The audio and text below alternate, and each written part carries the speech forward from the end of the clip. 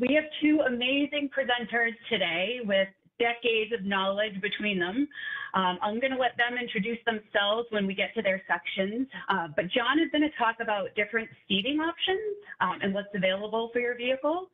And then Heather is going to talk about what type of lifts are available to transport your scooters and wheelchairs. Uh, we've received some amazing pre-submitted questions um, when you've registered.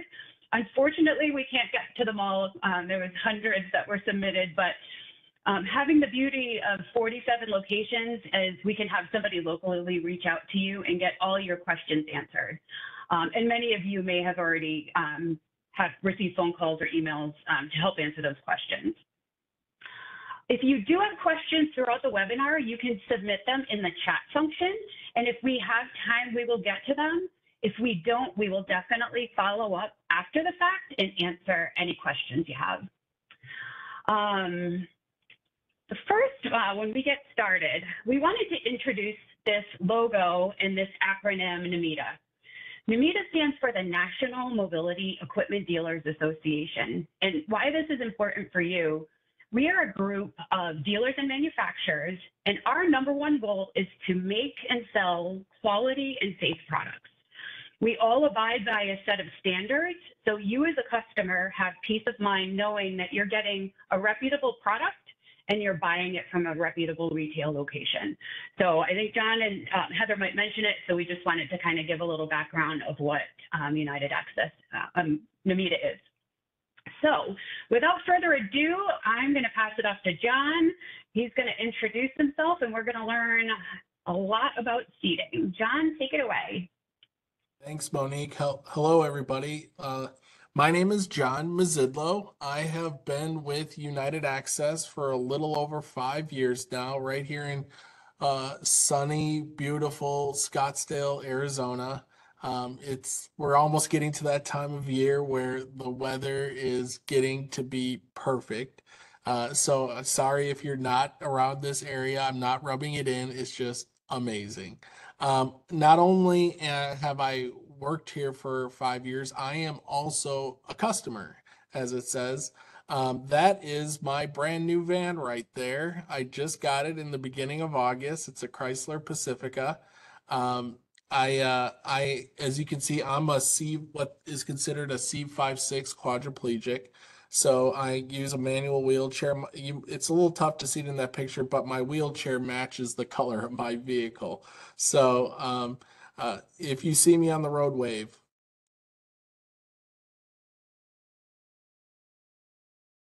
So first, like uh, we're going to talk about different seating products that uh, we have to offer um, that we sell, we install, and we service. First, before we get like too deep into it, um, we as mobility specialists like to do what's called a needs analysis. And some of the just the basic things are we want to find what's best for you. You may come in with an idea of, you know, this is what I think is best for me. I saw this online. I saw this on YouTube. I saw a picture of this. Um, and you call and you say, Hey, John, I want to get this for my vehicle. Okay. Which is great. I'm glad you've done your research but let's do what we call a needs analysis to find what I call is the best fit for you. Okay. And some of the things that we like to talk about is what is your your goal? Okay. You know, I want to know what your life is like, what you're doing on a daily basis, where you're going, who you're going with. Um, how long do you plan on using this product? Um, you know, is it a short term solution? Is it a long term solution? Um, and we'll always like to take into consideration, you know, what is it, if this works for you now, is it going to be the best for you in six months, a year, three years, five years, and beyond? Because uh, let's be honest, I mean, we all work hard for our money, and this stuff is none of it's cheap, unfortunately. So there's a lot of expense to this.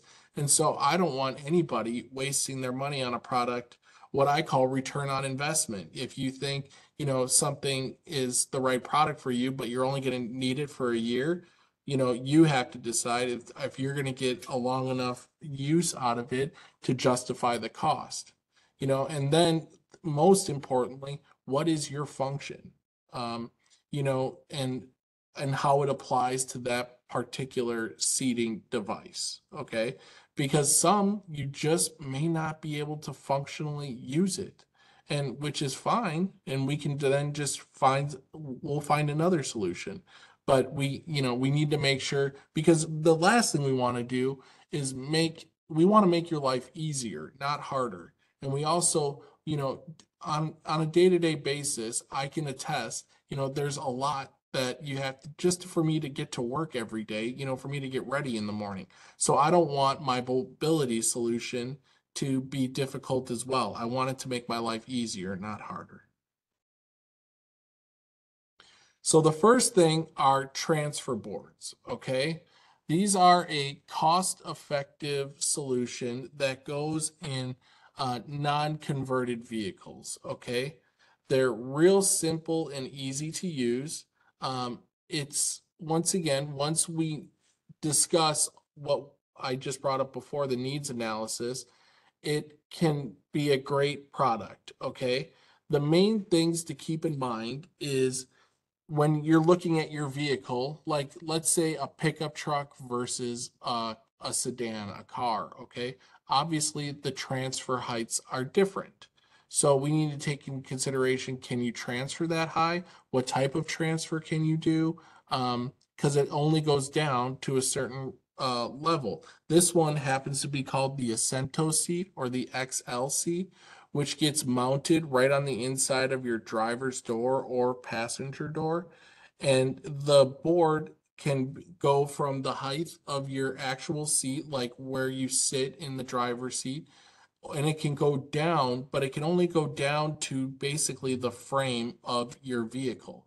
So you get that um, lift from the if if you're transferring in from the frame of your vehicle up, let's say six inches or maybe eight inches up to the level of where it's uh, even with the seat of your car. Very helpful, um, but you know you need to be able to know that you can do that functionally there is a weight capacity, okay? And then um, you also have to take into consideration your mobility device. So like if you see in the in this picture here, this woman has a manual wheelchair, okay?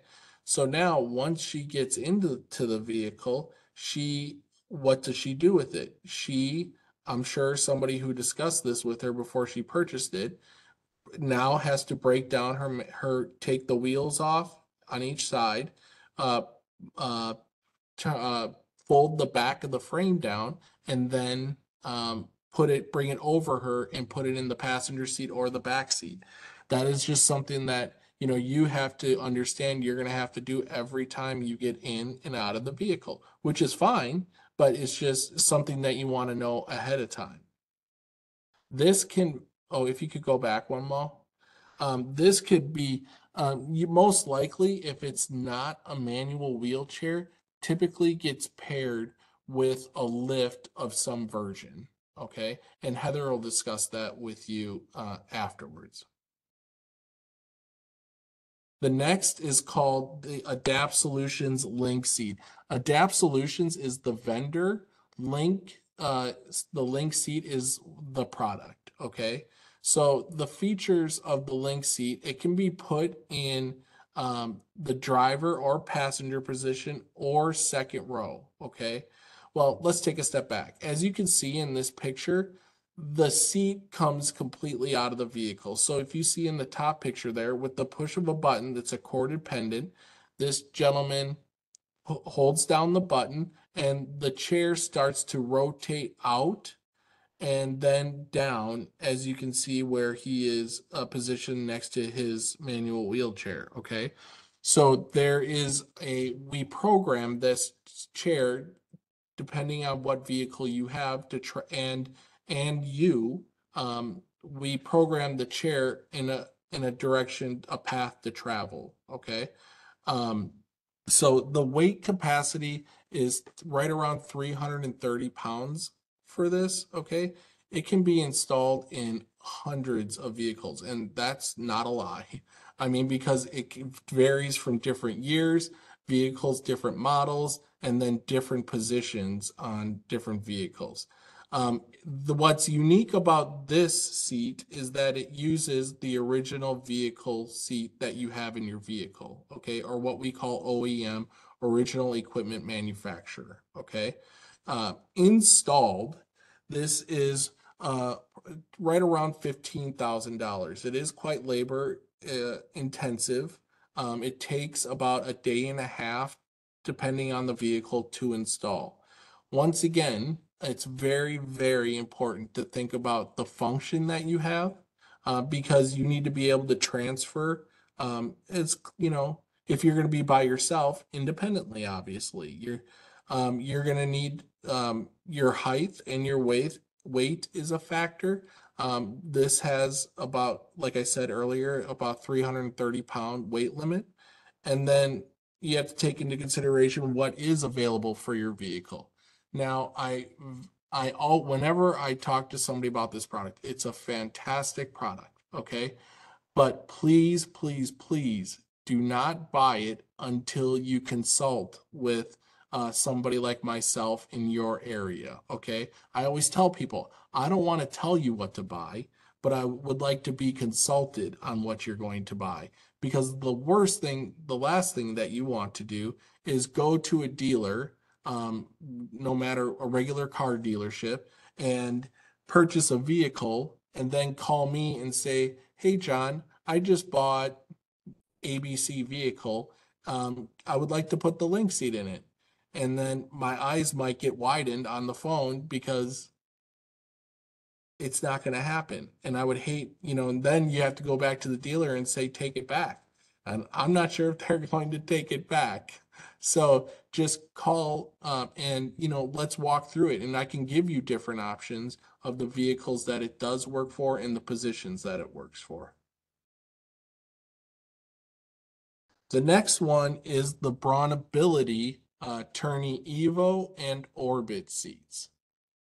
So both of these are very similar, very similar to the Adapt Solutions Link seats.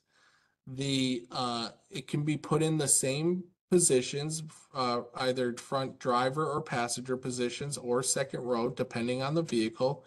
It, it goes on the Turny Evo goes on a programmable uh, that we program um, pathway, uh, and it turns out of the vehicle and lowers down. Okay. Once again, this can also be installed in hundreds of vehicles depending on the year, make, and model.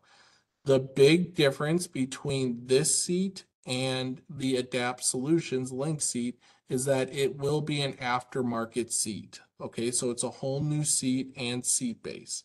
Um, so what we do when we talk with anybody who's interested in this is that um, we I get the information. You know, I have them um, email or text me a picture of their sea color so we can try to match it as close as we can.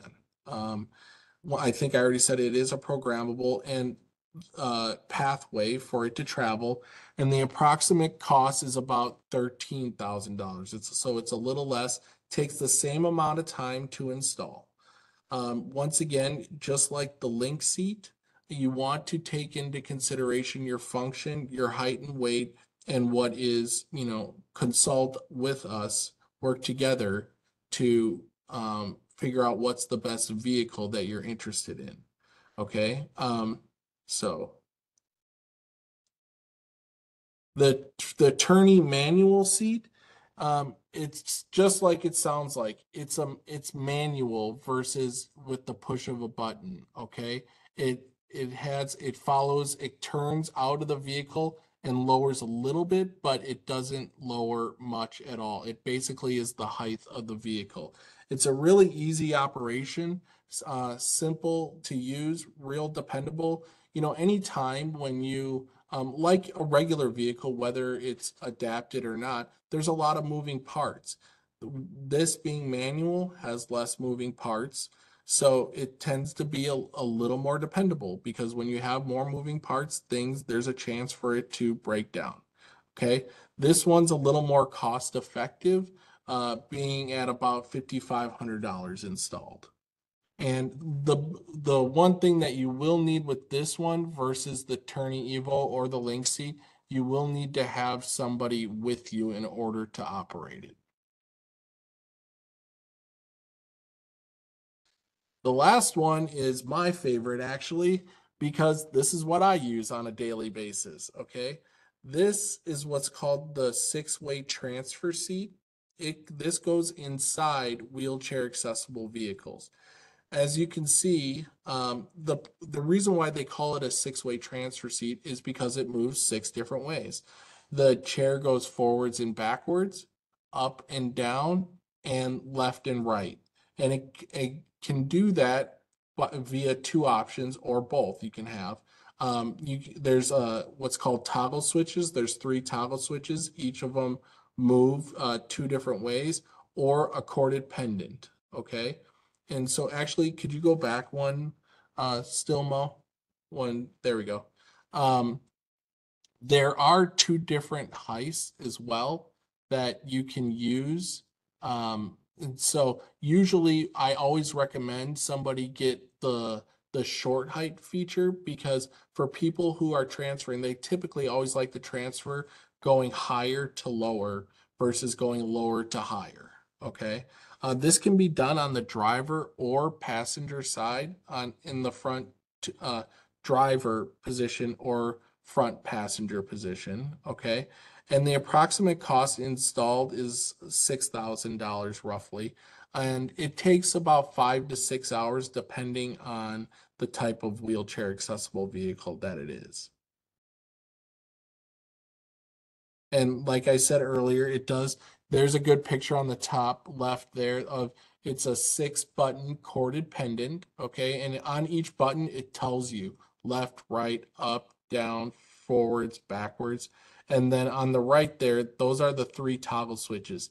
Now you can get it with both as well, but it's, I usually do it um, based on somebody's function. So like, for example, I'm a quadriplegic. Okay.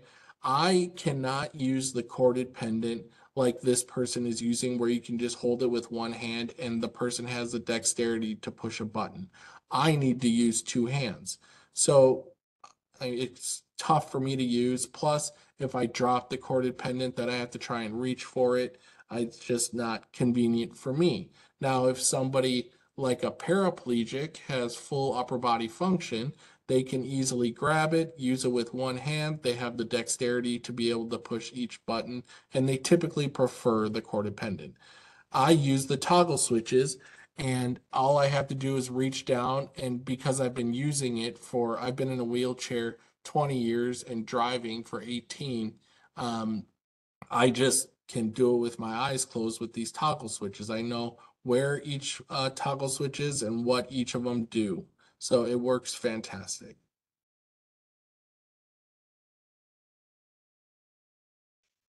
So I want to, uh, these are great uh, pre-submitted questions. Um, the first one from Juan is why is that Turny seat so slow when it's coming in and out? The way I always explain it to people is um, we don't really want it to be a roller coaster, but we also want it to be uh, safe. Okay. So there's a fine line between, you know, how slow do we want to make it where it's too slow and how fast do we want to make it where it's not safe for people. Um, so it's it's a fine line there is no easy answer and everybody has a different idea of what fast and slow is too um, but i do understand where you're coming from especially on certain days depending on the weather if it's you know really hot outside or if it's raining outside you just want that thing to whip you right in there you know and so you don't have to worry about it and you don't care if it's a roller coaster or not um, so i can appreciate the question but they do it, it its speed is because of safety. So, um, good question. Uh, Sean asks, driving from a power chair versus a transfer seat. So this is really, Sean, based on your function. Okay.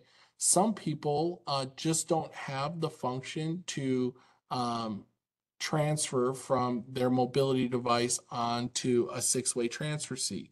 Um, but from different driving evaluators that I've spoken with, uh, they would prefer that you would be able, if you're able to, to transfer onto a six-way transfer seat, uh, simply because um, you have you're in the actual seat of the vehicle. Um, you uh, have the armrest there.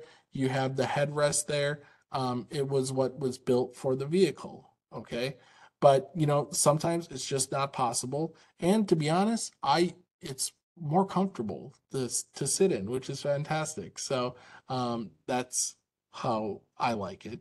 Uh, Rose asks options for a person with left side hemiplegia paralysis as a passenger and as a driver.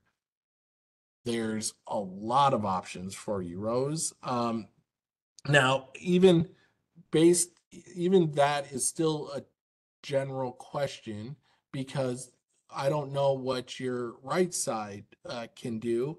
I don't know. Are you using a mobility device? Are you using, and what kind of mobility device are you using? You know, there's so many different options. But I wouldn't, uh, I would never say that you could never drive. Uh, you could definitely be a passenger. But the purpose, I just mentioned it earlier, is that you should definitely go see a driving evaluator. Uh, all states have them and they can evaluate you on what equipment you would need to be um, as a passenger and as a driver. Donald asked, I would drive part time. Is there adaptive equipment you could bypass when the wife is driving? Also, is there adaptive equipment to aid loading a person in and out of car as I have problems getting in and out? So uh, let's take the second question first. Um, yes, there are um, adaptive equipment to aid loading a person in and out of a car. I'm not sure if I'm understanding if you need something like a Hoyer lift to get onto the mobility device to load you into the vehicle, or if you just need help, you know, if you're just referring to like a link seat or a Turny Evo seat or the Ascento seat. Um, but yes, there are things like a Hoyer lift that can help you get onto those uh, mobility, that different type of mobility equipment, and then um, you can get in and get out, and then uh, get onto your mobility device. Um, in regards to driving part time, this is a great question. So uh, I'm married, have a family, twin daughters that I'm chasing around everywhere, and sometimes it's just easier for my wife to drive. So, or like when we're going to church, whatever it may be, uh, we go everywhere. So, um, and it's a lot easier for my wife just to hop in the driver's seat and she'll turn around my six way transfer seat. And obviously, I use hand controls and they're there. She just doesn't touch them. Uh, the, the pedals are still there. Uh, even if you, there's a common misconception that once you put hand controls on a vehicle, you don't have the ability to drive it with the pedals. That's not true. Whether it's mechanical hand controls or what they call electronic or featherlight hand controls, um, somebody other than the person who needs the hand controls can still drive it.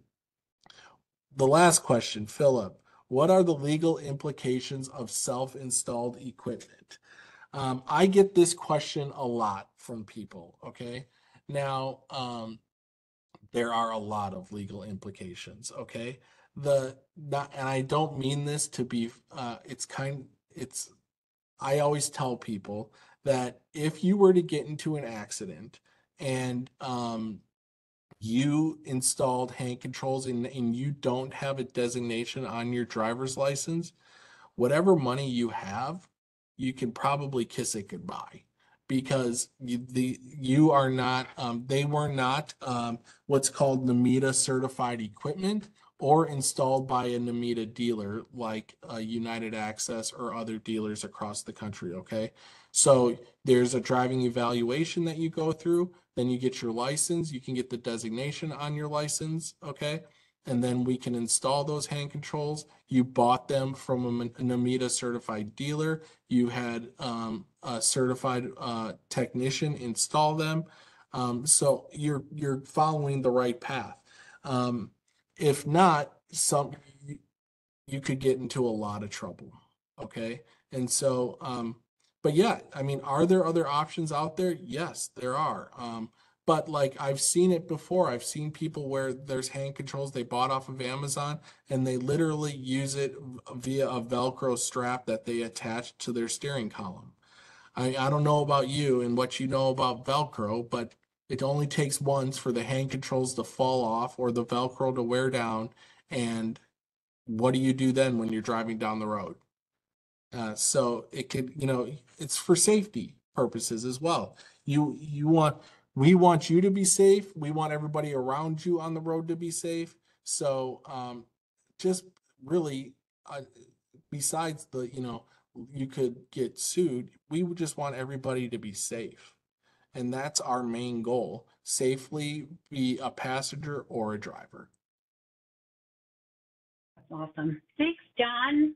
That You're welcome. a lot of information. All right, now we're going to hand it off to Heather on the clear opposite side of the country than uh, Arizona. Uh, so, Heather, take it away.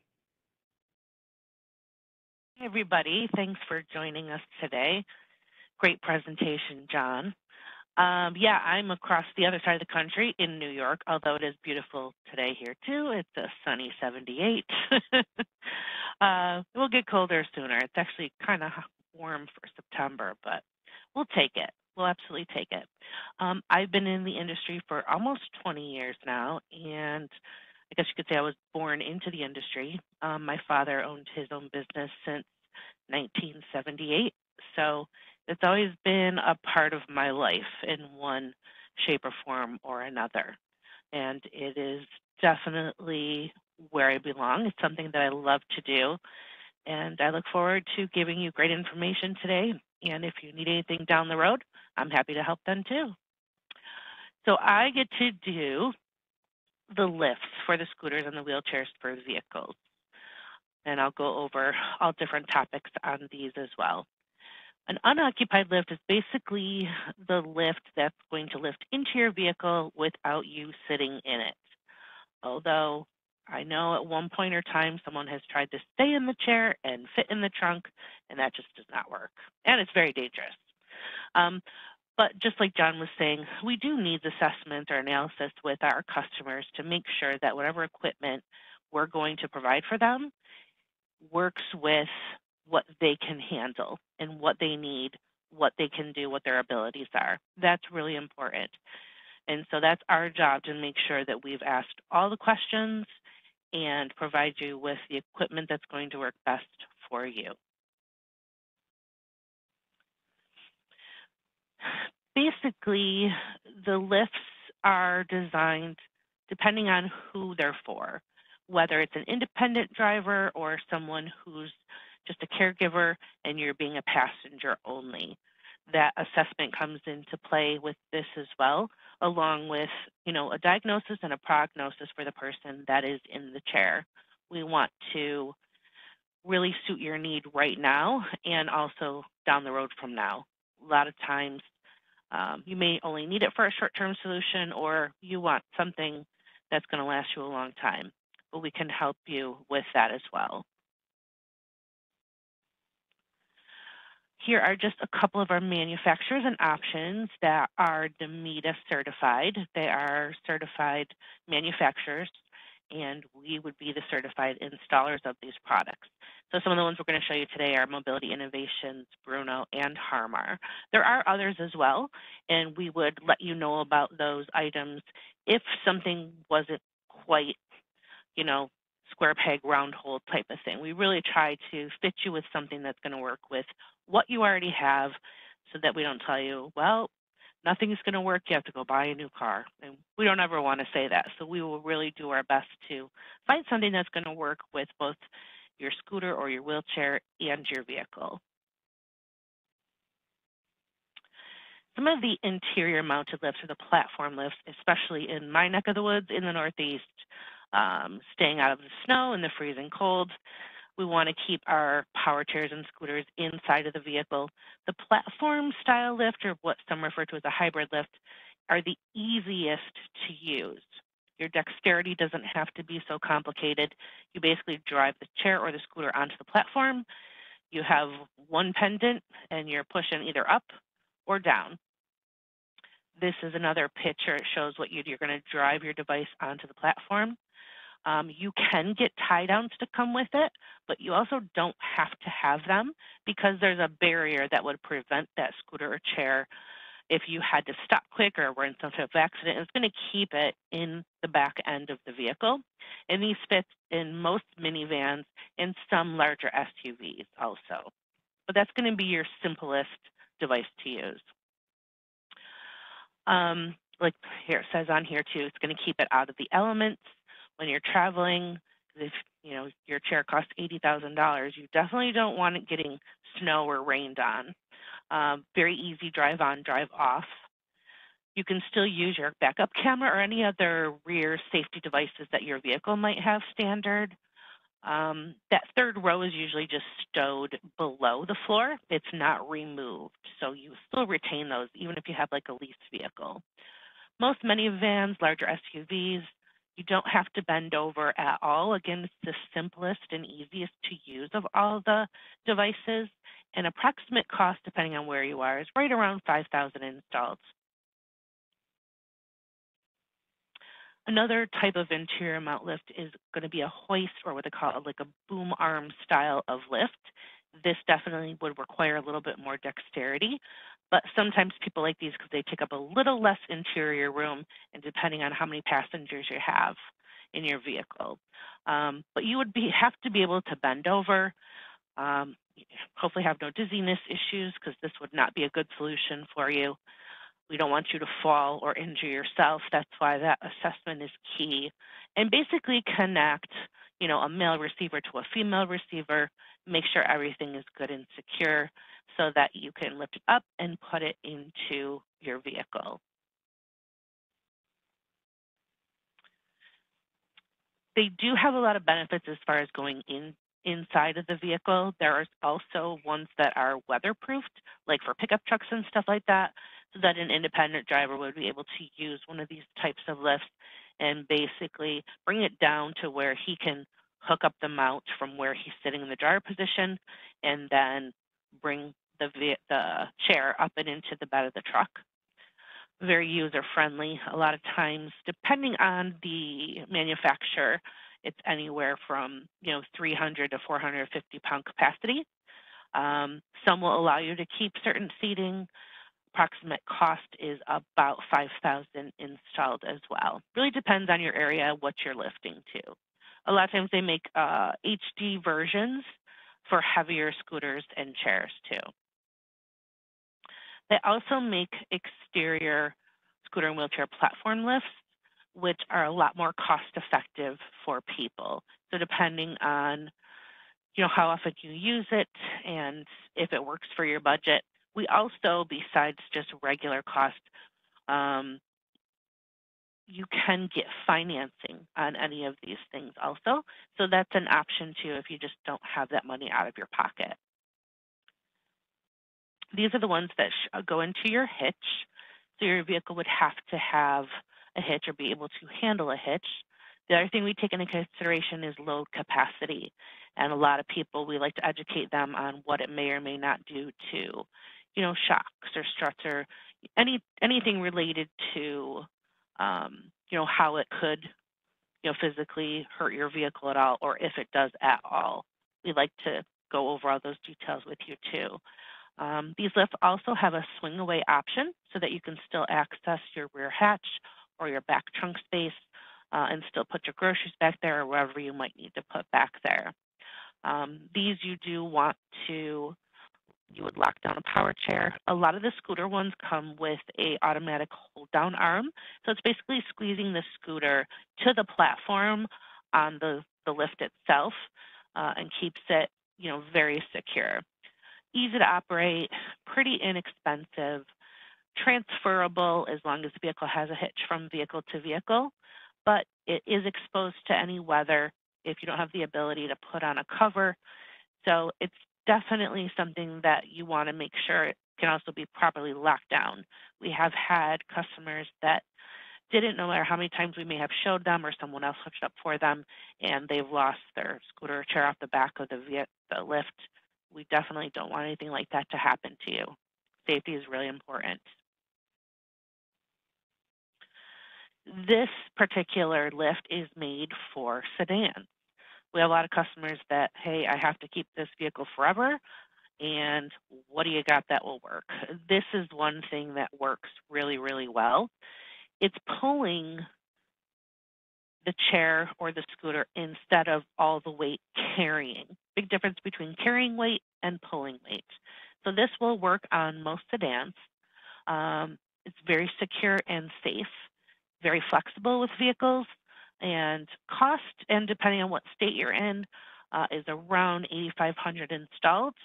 Some states will require you to register as a trailer, so it really just depends on where you're located at.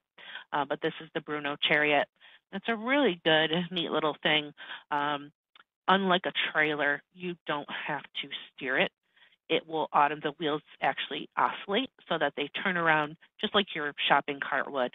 Um, so it just becomes an extension of the vehicle rather than um, you know something you're pulling and you have to worry about backing it in and knifing it or whatever the case is. Jackknife, that was the term. we also have mid-row lifts. So certain vehicles and certain applications, again, depending on the, the person's diagnosis, what it is that they're looking for, what solution works best for them, is a manual chair and a mid-row lift. So this product is Adapt Solutions.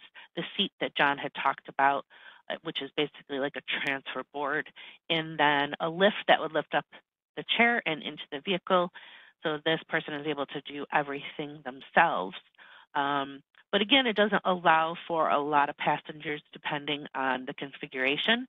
So there are some limitations, and we would help you uh, decide if that would be the best solution for what you have and in your environment. Approximate cost for both of these put on together is about $8,500 installed. Um, it's a good solution, but it doesn't work for, for everyone. And transferability is usually another question that comes into play. So that's something that we would discuss with you to make sure that this is going to fit your need now and, you know, five, ten years from now. what is the best lift for me? It's definitely a combination of many things. And I love the customers that call and say, hey, I'm going to be buying this car. My lease is up and I have to get into something else. What should I get? This is what I need to carry. Those are a dream when that happens, but we're not always that lucky, nor are they. But we really need to piece together everything. So a lot of times when someone calls and says, hey, this is my vehicle and I have a golden scooter. And I say, okay, I need the actual, you know, make and, you know, the model number, whatever you can give me, because if you look up, you know, golden or a pride product, there are probably thousands of different models. And then those models are, you know, made to fit that particular person. So it's really important that we put all the pieces together as well as possible so we get you something that's actually going to work for you individually. Then we have our occupied lifts. Some of these are not so common. Um, I'm sure they're more common in the warmer climates, but I don't think we've ever put on, here in the Northeast anyways, um, one on the outside of an RV. However, we have done some inside ones, and that's you know that's something that we do. We can also lift the person like a Hoyer, Milford person lift. You have an occupied exterior mount lift, and then you have your occupied full size, which a lot of you are probably familiar with um, when you know medical transportation companies or even personal use types of setups. The platform style lifts are good for almost every full-size vehicle. So you have your Mercedes Sprinter, your Ram ProMaster, and your Ford Transit. There's some other ones too, depending.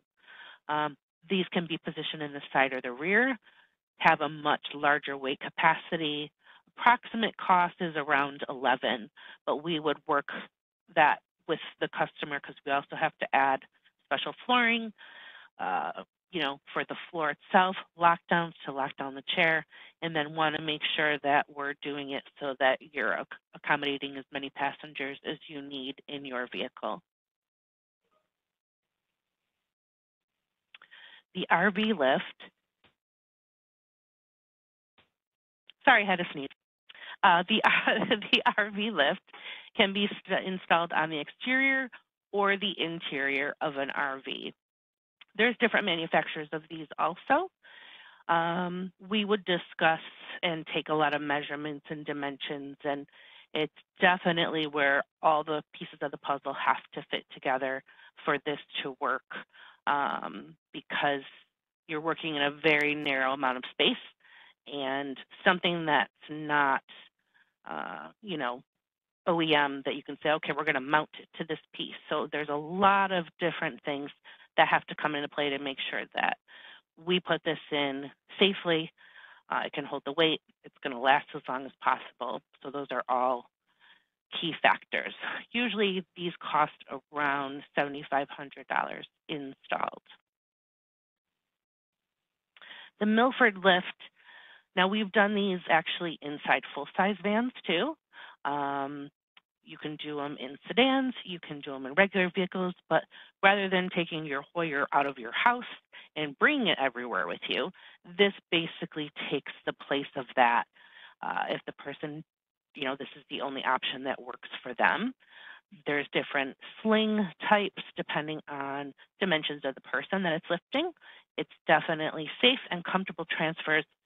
Approximate cost on these are around $8,500 installed.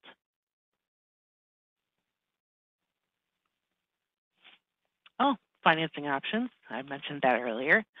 We do offer financing. Uh, we are also happy to work with your dealership possibly or your own bank. Um, we'll do whatever you need that makes life easier for you basically. Some other assistance programs we work with are state-run programs, Medicaid waiver programs, workers' comp, vocational rehab, and a lot of the VA also. So these are my pre-submitted questions. Um, so we'll go over these here. So James asks, is a wheelchair lift versus a van with a ramp the only way a disabled person can load a wheelchair into the vehicle? Um, and of course, the answer is no. There's lots of different ways that you can get somebody in and out of a vehicle, and that's where your specialist is really going to come into play to see what can the caregiver handle or the person themselves? What are their abilities? What are the advantages and disadvantages? But there's usually always a solution and we think outside the box too sometimes um, which you have to do all depending on the situation. Uh, it, everyone is a little bit different. So it really is basically like customizing something that specifically works for you your family your vehicle your needs, your chair, your scooter. Gary asks, can a person like a quadriplegic with a permeable F5 drive from a wheelchair in a full-size van like the Dodge Ford Mercedes using adaptive electronic mobility controls? So there really is only one manufacturer, and this would be more for someone who is a para, um, not a quad, and not electronic controls that can let you drive from your chair itself and not transfer. Um, Paravan, who we are also a dealer for, but not every one of our locations, is the only one that makes modifications to the floor of the full-size vehicle in the front because the floor is not flat and would allow somebody to drive but with mechanical controls not electronic controls. Most electronic controls are high-tech devices. So a quad may use an electronic gas and brake, which is a, a throttle that's used forward and back, um, a, a servo type of steering, whereas essentially like if you were a DJ and you went to scratch a record, that's exactly kind of how they would steer the vehicle with very little motion. So there's so much that has been done lately with technology um, and I have some very great high functioning quadriplegics. And when you look in their vehicle, you'd think they were driving an airplane. It's so sophisticated sometimes, and our techs have to get hours and hours of specialty training um, at the facilities and be certified to do these types of modifications. But hopefully, if we have a quad um, that's looking to upfit a vehicle, hopefully they talk to us beforehand and we can tell them, knowing what their needs are, um, what vehicle they should get, and what would work best with the equipment that they need to. So sometimes we work a little backwards. Really just depends on the person. Melissa asks us, what do we see being the most helpful for caregivers when it comes to transportation? That's kind of an open-ended question, but a great question. It really depends on who the caregiver is. How many times do they have to get that person in and out of the vehicle? Um, how many other people have to be in the vehicle when they're transporting? So it really depends on the caregiver's physical ability, along with what's going to make life the easiest for that whole situation, both for the person in the chair and for the caregiver. Um, it, when it comes down to it, the biggest thing that we want to try and get for our customers is quality of life. If it's too much work to leave your house, if it's too hard and you have to transfer five times, then you're not going to leave your house if it's that exhausting. So the key is to really make life as easy as possible for the person in the chair and for the caregiver so that they're out there living. That's the most important thing. Then Daniel asks, what are some options for carrying a scooter in a wheelchair in a four-door sedan? So one of the things that we saw was the Bruno Chariot. So that would be a great way to carry it along um, in a sedan because there's a lot of stuff that can't go on sedans just because of weight capacity. Um, you know, vehicles cantilevering or tipping over. We don't ever want that to happen. Um, and also, do they have the ability to walk from the back of the car to the front of the car also? So that's a big factor too. Um, or do they have to break down their chair, put it over their lap? Can they break down their chair and put it in the door behind them? not too many vehicles nowadays have what we call a suicide door. There's got to be a better term for that, a barn door or some type of door where they're opening up together um, and you can just put something easily behind you. But again, it really depends on the ability of the person who needs the chair or the scooter. It's so specific to the person. So many different variables. That's why if you need help uh, in your area, talking to a mobility specialist is really makes all the difference in the world. Um, you know, you're definitely not alone. We want to give you that hope and we want to give you that independence back and get you out in the community and help you enjoy your life.